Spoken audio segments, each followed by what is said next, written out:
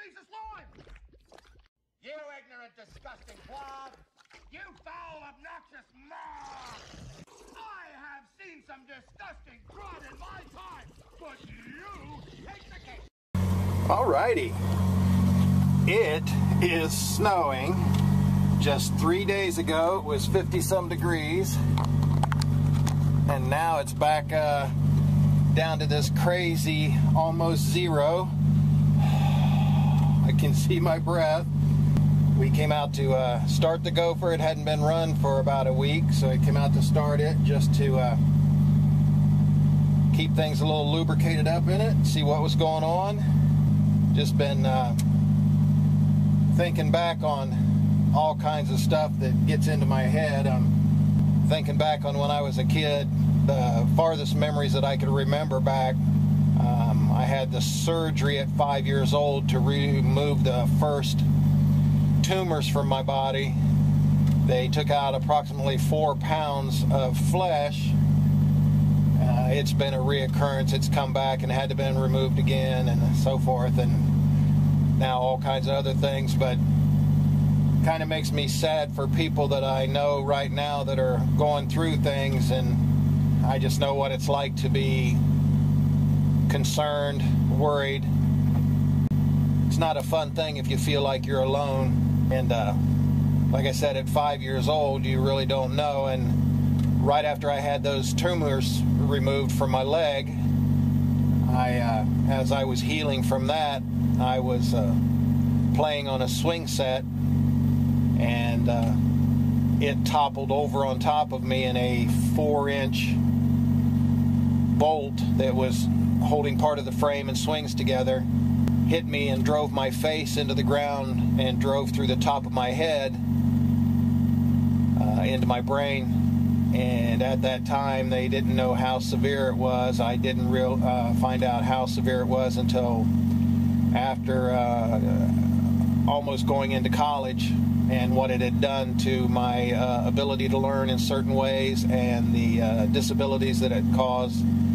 Um, if you look at a hemispherical x-ray of my brain, a side x-ray, you can actually see where the projectile, the bolt went in and carried a bunch of hair and bone fragment debris with it into the corpus callosum of my brain. And it's uh, calcified in there now, and there's nothing they can do about it. Um, up until the time I was 16 years of age, the my brain fluid, the sac that covers your brain that keeps it suspended in a small amount of fluid, uh, the brain fluid seeped through my scalp until I was 16 years of age. So it was always a, it was just like a, you know, a runny nose on the top of my head, more or less. No, it sounds gross, but I'm the one that had to go through it. and uh, so that led up through a bunch of problems and stuff. Um, to my disability, I have, uh, from the brain trauma, I have uh, what's called dyscalculia. It's a, uh, like dyslexia, but with numbers. And uh, that, that's kind of weird. Uh, I didn't find out until I was into college what that was and what my learning disability was because I excelled on so many different levels as far as um, uh, mechanical ability, mechanical arts, drawing, drafting, design, even engineering, but I couldn't do the math for engineering. I had to do it a totally different way that took me three or four times as long as a normal person to just do the math. I cannot ruminate numbers. Um, I can deal with money in tens, but I can't deal with anything that is uh, uh, the 12s like the American systems.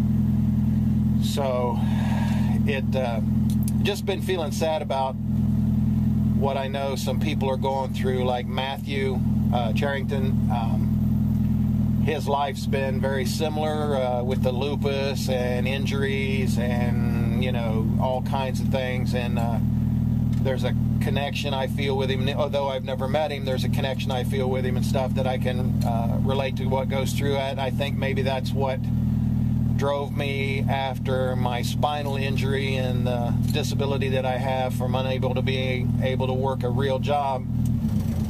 That uh, um, and you know, basically doing what I'm doing now for the volunteer service and have been doing for the last 14, 15 years. Um, working with people that have uh, issues that don't allow them to uh, get places in life or they feel have hindered them in such a way that they feel less than.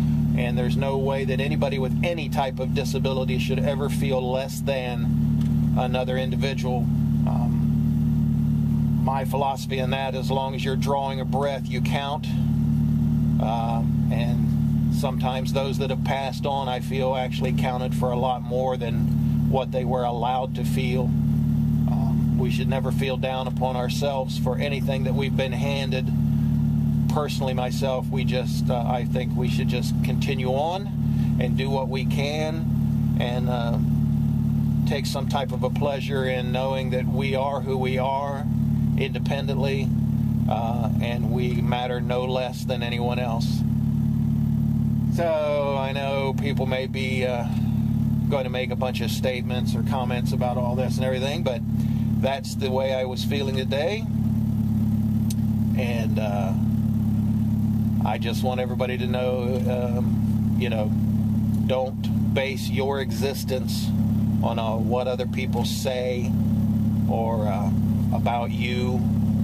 Um, you know yourself better than anyone else, uh, and that's really all that matters.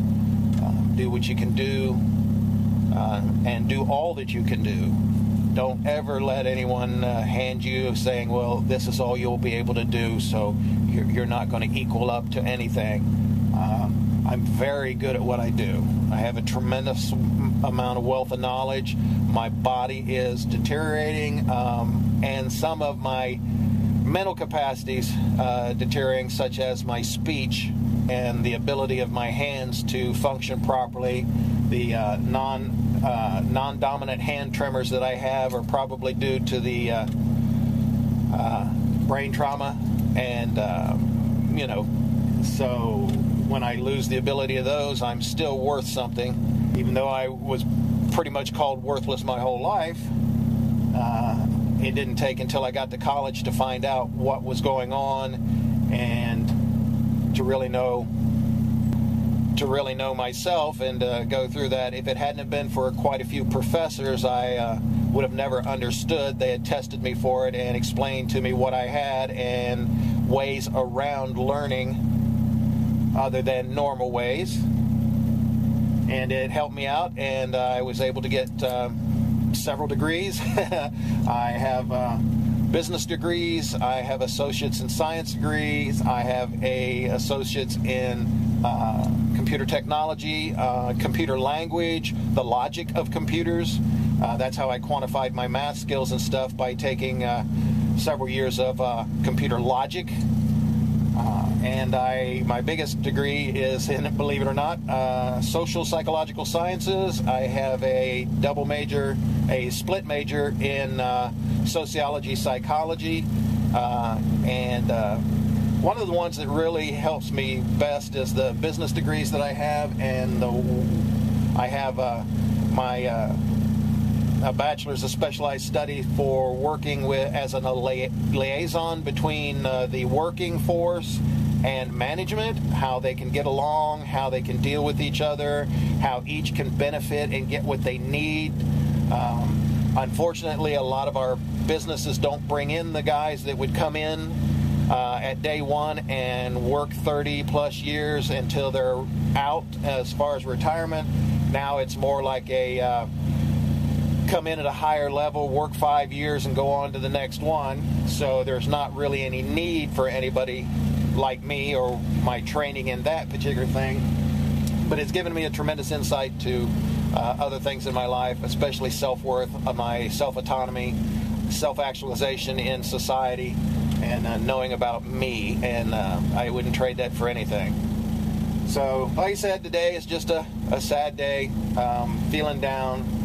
Uh, I'm not feeling sorry for any one individual. I'm just sad that people still have to go through these things, but it is a growing experience. Everything we go through adds up to the end, and I do believe our, for myself, my existence in this life is to learn to the end. Uh, and whatever end that is, don't care. When it comes, don't care. Uh, it, it is what it is. So now that I've uh, put a bummer on all this, but uh, just insights into me, uh, I'd like to wish everybody a good day. And uh, Matthew, um, I hope everything's well, and uh, I hope to be able to see you this spring, summer, buddy. So you all take care, and I will do my thing, finish out my day. See ya!